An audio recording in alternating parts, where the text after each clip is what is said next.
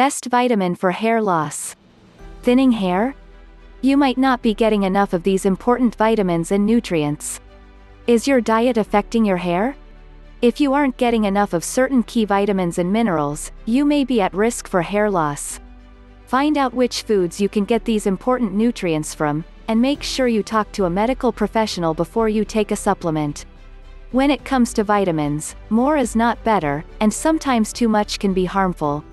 1. Biotin This biotin, vitamin B7, is important for cells inside your body.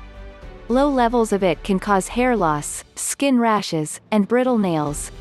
Your levels may be low if you're pregnant or breastfeeding taking certain antibiotics or epilepsy drugs most people get enough biotin from their diet.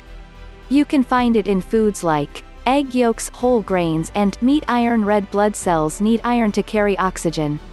Low levels can cause iron deficiency anemia. Symptoms include fatigue, pale skin, and hair loss.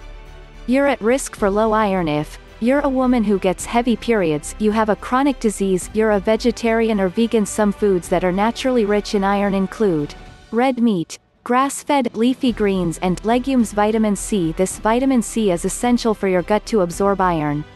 Some good sources of it are citrus fruits, leafy greens and bell peppers. Eating your iron-containing foods at the same time as a food that contains vitamin C will help you better absorb the iron in food.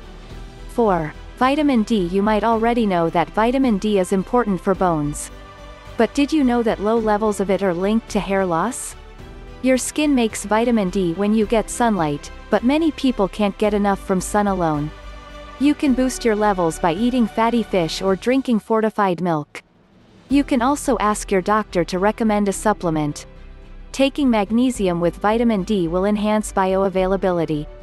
5. Zinc It can play a key role in making proteins in your hair and other cells. Your body can't make it, so you need to get it from food or supplements.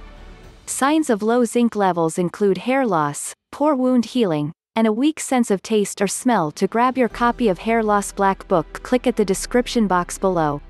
Enjoy watching the video and support our channel.